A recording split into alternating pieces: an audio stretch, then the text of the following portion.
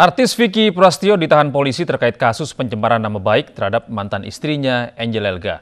Penangkapan Vicky karena telah menyiarkan tudingan tidak terbukti di layar televisi usai penggerebekan yang dilakukannya pada 19 November 2018.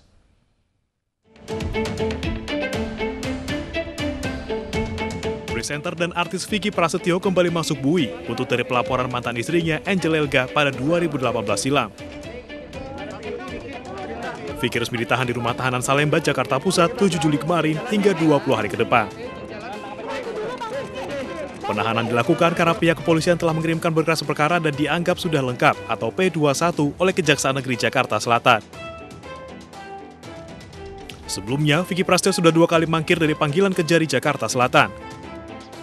Karena takut dijemput paksa, kemarin siang Vicky akhirnya mendatangi Kejari Jakarta Selatan. Pria bernama asli Hendrianto ini diperiksa selama lima jam di ruang seksi tindak pidana umum.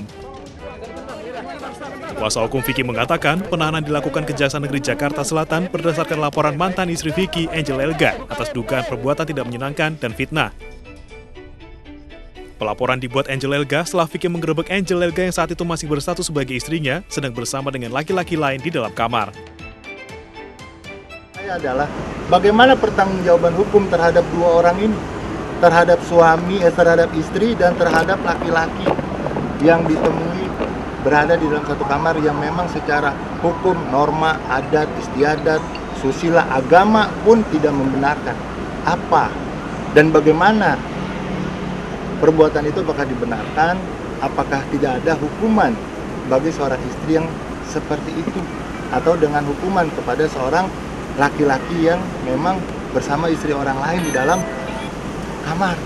Ini yang menjadi pertanyaan kita.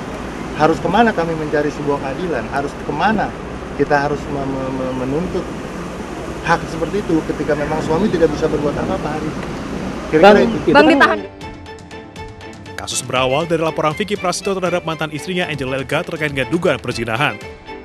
Setelah diselidiki polisi, ternyata laporan tersebut tidak terbukti. Mengetahui hal tersebut, Angelica kemudian melaporkan balik mantan suaminya atas tuduhan perbuatan tidak menyenangkan. Atas laporan ini, Vicky terancam hukuman penjara selama empat tahun. Tim Liputan iNews melaporkan.